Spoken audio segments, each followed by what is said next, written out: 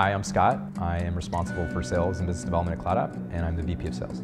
CloudApp is basically the fastest way to share anything that's on your screen, on your desktop, with a coworker, a team member, a customer, a client. I've been using Woopra for about eight months, um, using it literally every day, sometimes on the weekends. Um, it's been awesome. One word that I would definitely use to describe uh, Woopra is obsessed. It helps us navigate and understand everything that's going on with the business. If you have 10, 20, 30,000 people signing up every month, um, it's a tidal wave of information. It's, it's literally, it feels overwhelming.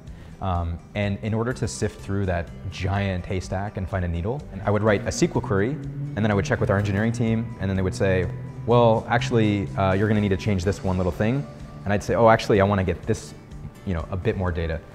And it was like hours a day of me reading blogs, talking to our engineering team, them explaining how to use SQL and that I was doing it wrong. I just don't have to do that anymore. It's 10 to 15 seconds per query in Woopra to find exactly what I want. So our, basically our biggest problem was we didn't know what our customers were doing and Woopra made it immediately available to us to find those specific things. Creating like a, a life cycle for a customer is pretty easy in Woopra. So for example, I can say, once they've signed up or confirmed their account, what's the next thing that they did, how many people are falling off. Um, so they created a drop, they created a screen recording, they created a GIF, um, and then maybe they subscribed.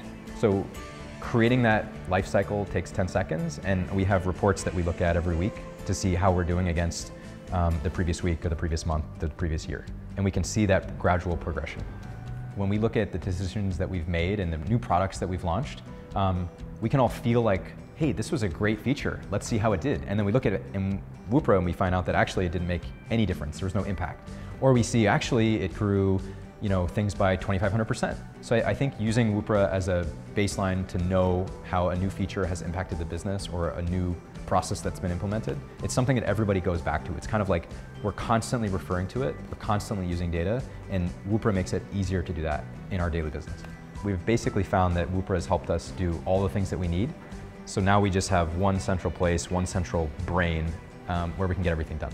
Woopra makes me feel like I can know everything that's going on in my business and I'm not stressed out or worried or concerned that I'm missing something. I know it's all there and I just have to get in and like start looking for it. But Woopra is the only one that's going to give you the depth and the clarity and the sort of comprehensive idea of what's going on with your business.